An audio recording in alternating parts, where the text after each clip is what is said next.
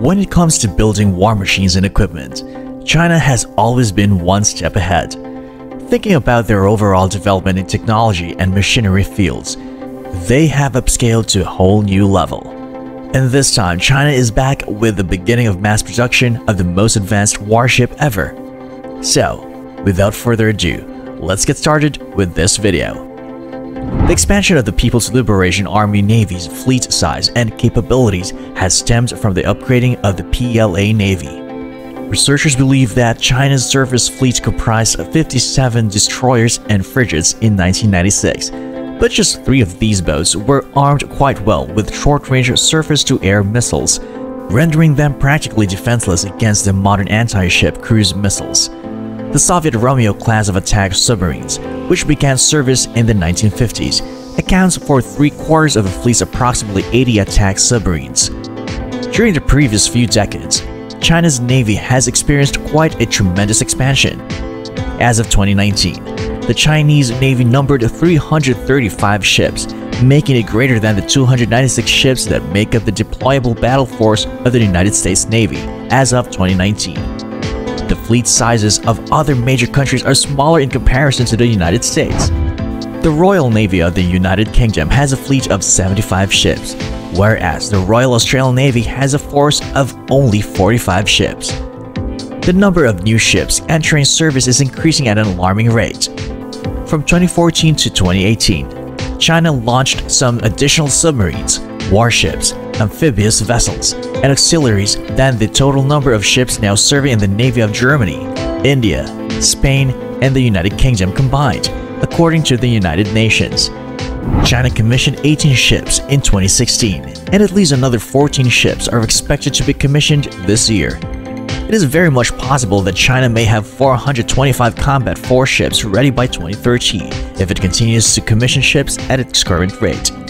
A large portion of the Department of Defense's plans for modernization and upgrading is devoted to modernizing and strengthening its actual warfare capabilities, particularly the South China Sea and the East China Sea, according to the Department of Defense.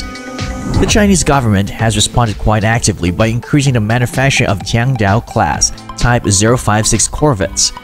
Since the first Type 056 corvette was authorized in 2013, more than 50 Type 056 corvettes have made their position in the service, with the last entering service in February 2020.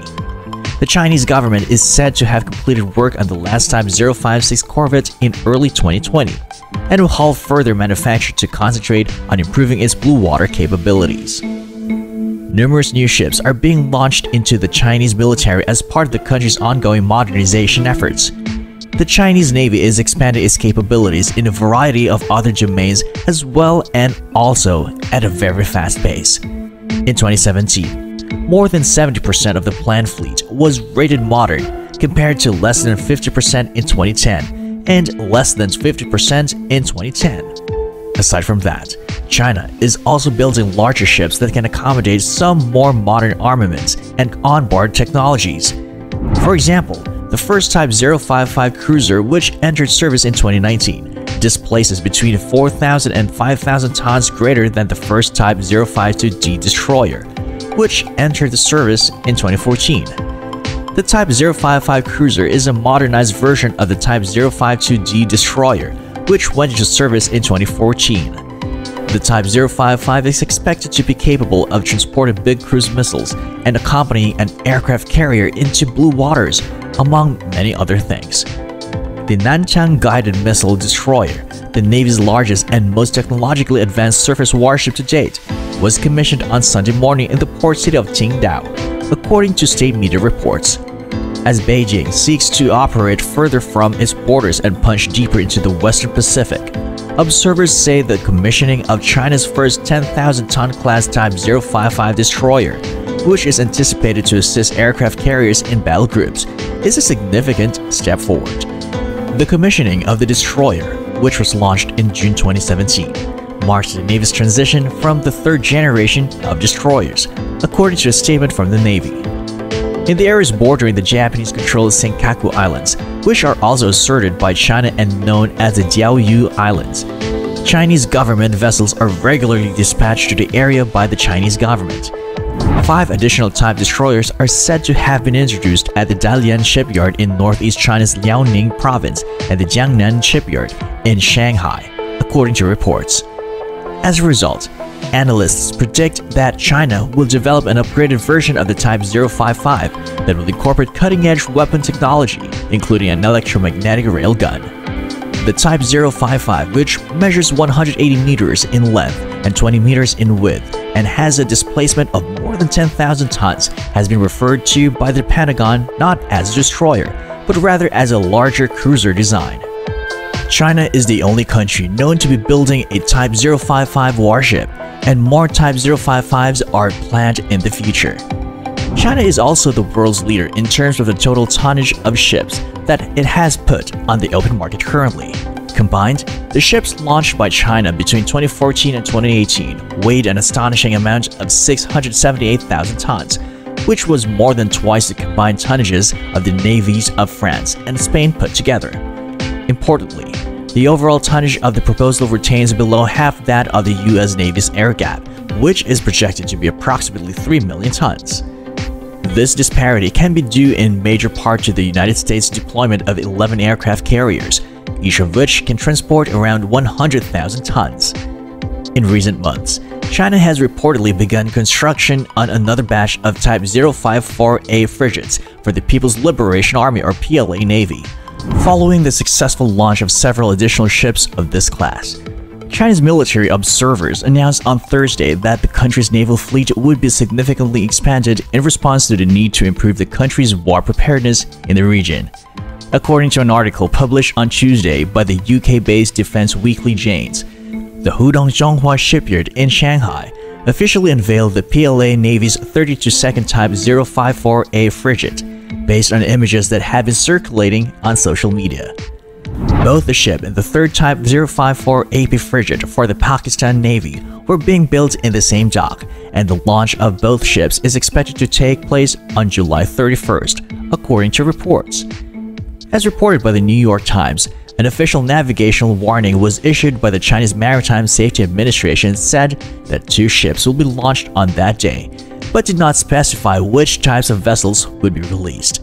The Belgian news outlet Navy Recognition reported on a Chinese Navy frigate, the PLA Navy's 31st Type 054A frigate, which was going to be launched in Guangzhou, the capital of South China's Guangdong province, the Zhoushan was the first ship of the Type 054A to enter service, and it did so back in January 2008. The Type 054A frigate, with a displacement of around 4,000 tons and the capability of performing anti-air, anti-ship, and anti-submarine operations, is a well-balanced warship capable of conducting operations not just along the coast, but also in the Persian Gulf. According to Xi Heng, executive chief editor of the Chinese magazine Shipborne Weapons, who spoke to the Global Times on Thursday. The ship uses fully developed technologies that have been proven reliable with the previous 30 ships, which have performed admirably in tasks such as escort missions in the Gulf of Aden and numerous military exercises over the years as shared by Xi. Due to its lower cost when compared to larger warships such as destroyers, and because it can be mass-produced more quickly, the Type 054A is an excellent choice for rapidly expanding the PLA Navy's fleet, according to Shai, who also noted that this will give China more time to evolve newer warships in light of the current situation, which forces the PLA to improve its combat preparedness. Chinese shipbuilding capabilities are expanding at a quick pace, which is allowing the PLAN to expand at an unprecedented rate favorable market conditions, as well as collaborative ventures with Japan and South Korea, enabled China to update its shipbuilding infrastructure and operational skills throughout the mid-1990s. China's shipbuilding capacity and capability have expanded, according to the Department of Defense, as a result of the modernization and growth of the shipyards. This includes submarines, surface combatants, naval aviation, and sea lift assets, among other sorts of military projects. In 2018, China overtook South Korea to become the world's leading shipbuilder by volume of orders.